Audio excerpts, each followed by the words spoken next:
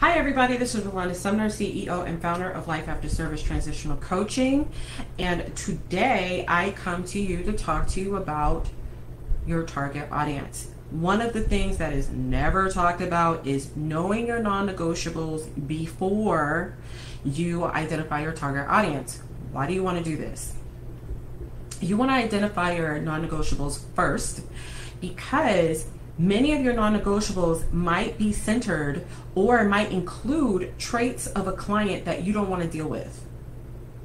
So, if there is a client that triggers you, say you're a female, you've been abused, hurt, you know, shamed, what have you, by males, you may not want to work with females. Guess what? That's a non negotiable right there. I, I mean, you may not want to work with males. So you might say, look, I, I can't work with males. I don't want to work with males because they trigger me or I'm afraid.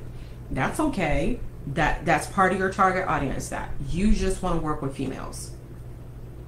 You know, you might say, um, I don't want to work with clients who have a propensity for for um, violence or for outburst.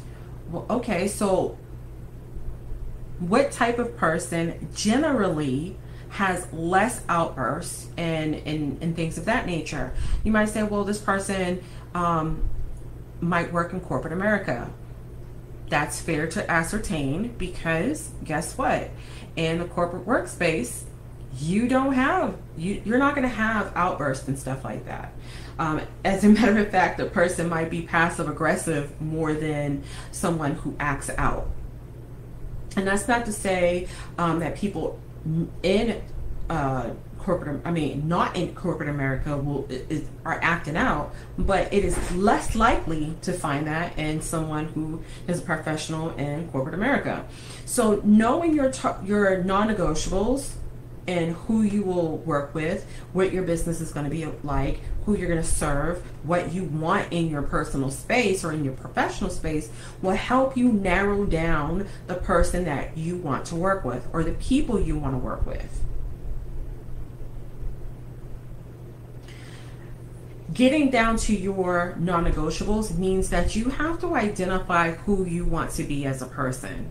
Who is your future self? When you're looking in the room of you and your client, look at your client. I mean, look at you and talk about that person in the coaching seat. Who is she? You know, outside of what she wears, who is she as a person? What does she believe in? What has she gone through? And what fail safes or protective measures have she taken to protect herself from going through that again? You have to identify that because what you can find yourself doing is serving people who are triggering to you. You can find yourself working, attracting clients who are really violating everything you believe in. That's not to, I mean, that may not they might violate everything you believe in and stomp all over your non negotiables because you never decided to sit down and identify them in the first place. And there is a coach for everyone. Please believe there's a coach who's like, I don't care if somebody has an outburst. I know how to work with that. I don't care if to work, I mean, I don't care if I work with men. That's cool. That's fine. However, you creating your own business is to outline who you want to work with. You're not working a nine to five.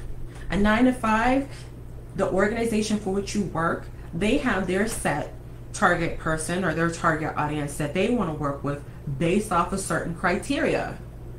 And if you ever worked a job where you felt like this client, this I don't want to work with this person it's because it wasn't your criteria, it was theirs, and you had to fit into this square peg, and you can't fit into it because you weren't ever designed to fit into that space, right? So now that you are creating a space for you and your particular ideals and your values, guess what? Now you can identify what your non negotiables are, who you're going to serve. So when you develop your target audience, when you discover them, you can more easily niche down to that person, that tight group of people who will not disrespect your values. Who would not disres- who would not cross that line. Who would not stomp on your non-negotiables. But you first have to identify what you're not going to put up with. You have to identify what you want. And in doing that requires you to look at who your future self is. Who is that person in your dream life? Who is that person who is running a million dollar firm? Who's that person sitting on the beach drinking Mai Tais, you know, at 12 o'clock noon, right before, after, or even during a coaching session that she's offering to someone else? Who is this person? You can't do that if you're not willing to take a good look at yourself and have a, a conversation about who that person is and what is important to them and what that person is not going to tolerate, what that person's not willing to do in their practice. So I hope that helps you today. If you want to get deeper into identifying your future person, identifying your dream life, identifying your non negotiables, so that you can narrow down your target. Uh, you can add that to the development of your target audience. Hit me up.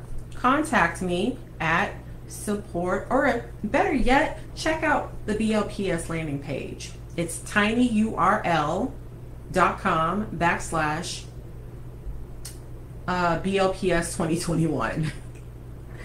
Hit me up, check me out on that um, page this is what Business Launch Prep School is all about.